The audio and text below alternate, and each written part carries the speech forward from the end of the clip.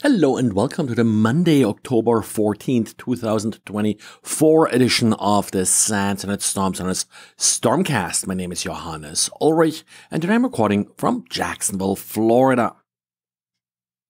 I've talked recently a couple times about how Microsoft in future versions of Windows will start to remove some old insecure protocols.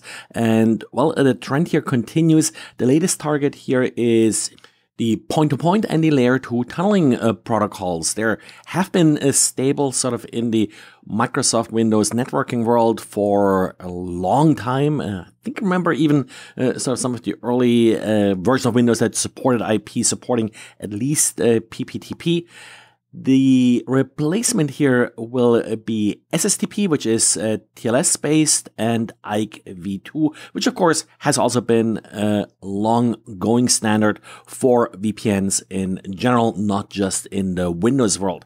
The goal here is to move to more secure protocols and move away from some of the older insecure protocols they will initially still work. They will be marked as uh, deprecated, uh, but of course in the future they may then be completely removed.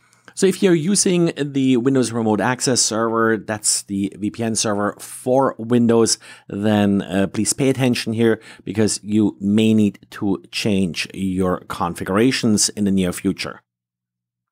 And CISA is warning about a badly configured F5 big IP local traffic managers or LTM.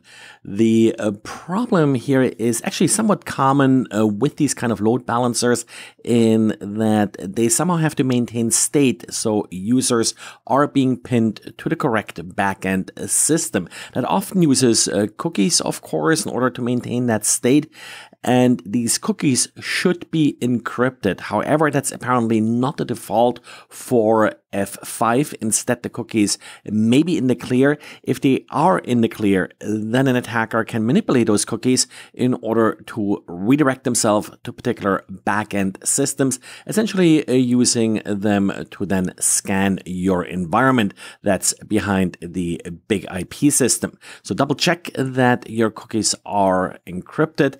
That apparently is already being exploited according to CISA. We have a nice uh, blog post on GitHub uh, by Daniel, who released some details about the vulnerability he found in Zendesk.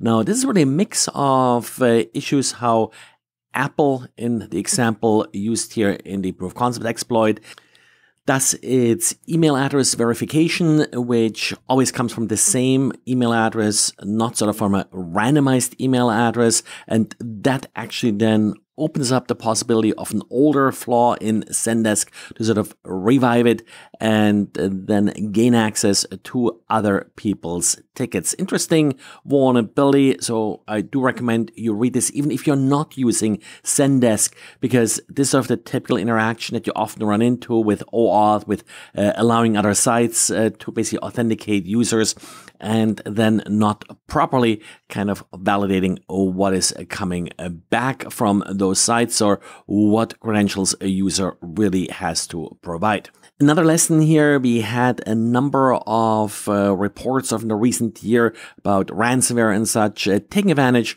of uh, weak authentication and the leak of uh, support information. Help desks are being targeted and uh, haven't really sort of come up with a good um, defense here in a sense. You still need users to provide sufficient details uh, to report bugs and the like. Maybe there would be some guidance and some value in reducing the time that a particular ticket and such is available in the help desk. And ESET Security has a blog post uh, detailing some new techniques uh, being used by a group they're calling Telekopye. That's a copy with a K and a YE at the end. This group apparently is now targeting various travel booking platforms. And the tricky part here is that basically, first of all, the uh, victim is receiving the email that there was a payment issue with their travel travel uh, booking. When they're clicking on the link, they're actually then being provided their actual reservation details. Apparently, this group has compromised a number of hotels and other uh, travel related establishments and then uses that information in order to make their scams uh, more plausible.